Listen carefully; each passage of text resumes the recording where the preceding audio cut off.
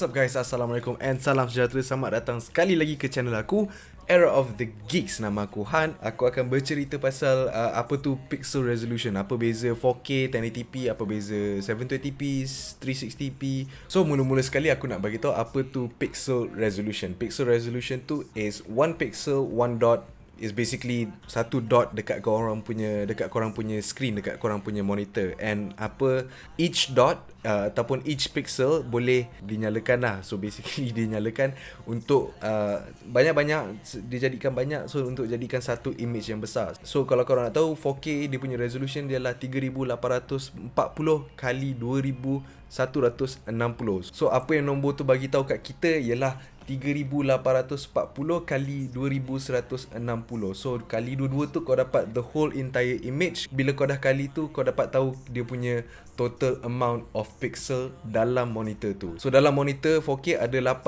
8,294,400 pixel dalam tu Bayangkan Kalau korang nak bandingkan tu dengan monitor 1920 kali 1080 Which is 1920 by 1080 Ataupun 1080p monitor Ataupun lebih dikenali sebagai Full HD monitor Dalam Full HD monitor cuma ada 2,73,600 pixel saja dalam tu. So kau bayangkan berapa banyak bezanya 4K dengan 1080p. Dalam range tu ada 1440p, ada uh, bawah daripada 1080p, ada 720p, lepas tu ada 360 eh, ada 4 ada 480p, lepas tu 360p. So P tu basically it stands for pixels lah. Uh, dia gunakan macam 1920 by 1080 tu, uh, dia guna 1080p, um, uh, 640 by 480p so 480p lah dia punya uh, vertical dia. Uh, horizontal dia uh, 640 so obviously macam 4K tu lebih besar dia punya uh, dia punya space dia. Maksudnya lebih banyak detail yang dia boleh display.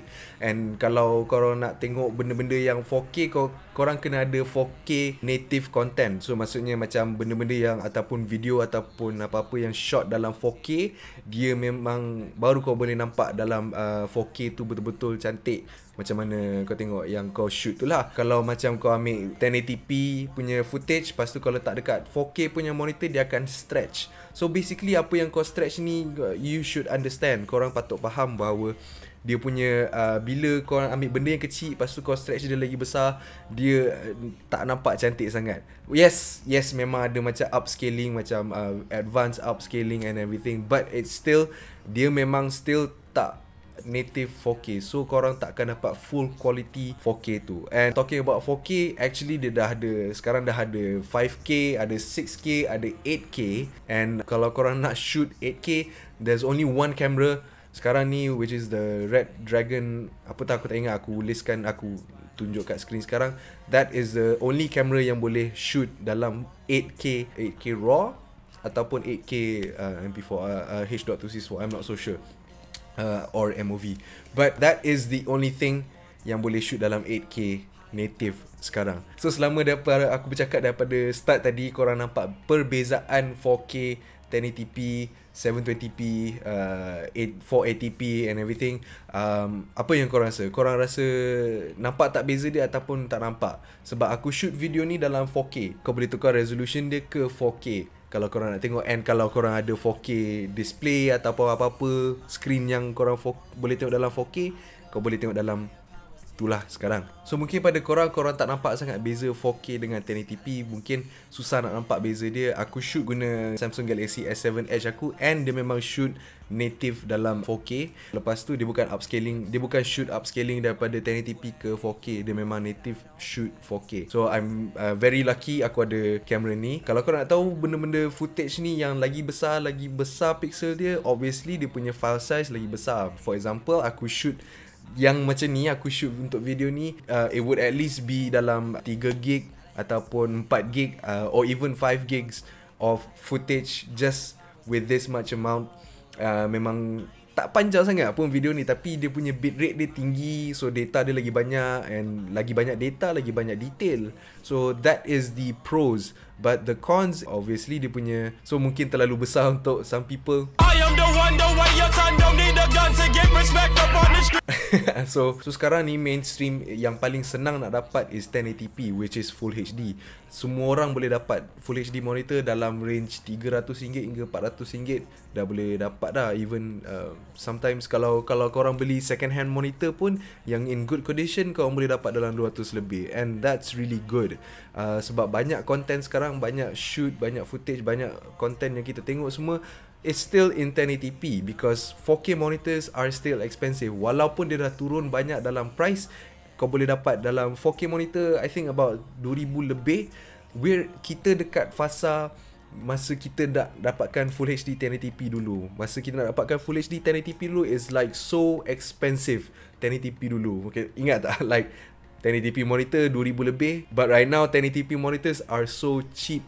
Kau boleh dapat dia like like murah gila. Uh, monitor ke TV ke display or anything. Phone phone pun dah dah uh, phone aku ni uh, Galaxy S7 Edge ni is 2560 by 1440p so basically dia 1440p quad HD so dia 2560 by 1440p 2560 by 1440p is basically more known as quad HD so dia dia up sikit daripada full HD and up sikit daripada quad HD ialah 4K and up lagi daripada 4K dia dah just panggil 8K lepas tu 5K 6K lepas tu ada pula teknologi HDR and everything. So kita akan continue with that conversation in the next video. So right now there is a poll yang keluar kat sini, ada card dekat sini. Aku nak tahu apa monitor yang korang pakai sekarang. Click on that and there is a poll over there.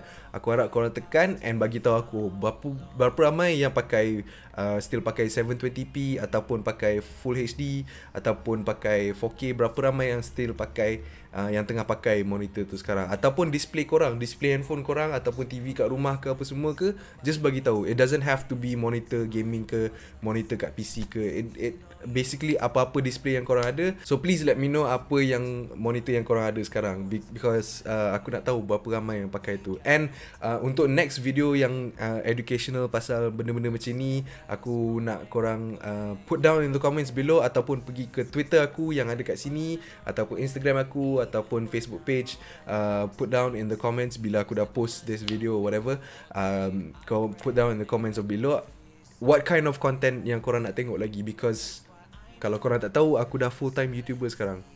Yeah. And thank you so much for the support yesterday. Aku baca comments tu semua. Aku rasa really heartwarming gila. Uh, thank you so much kepada semua yang support aku. Thank you so much for those kind, kind, kind, kind words. Really appreciate those words. So tomorrow there is an event launching a product about tablets and something related to about the Avengers or something that should be cool.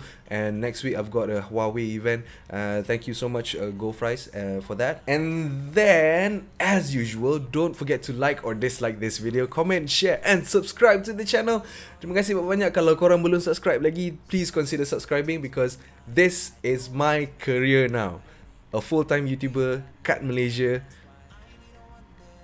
Nak macam mana lagi? I'll see you guys tomorrow. Era of the Geeks, baby. Higher powers taking hold on me. I need a one dance. Got a Hennessy in my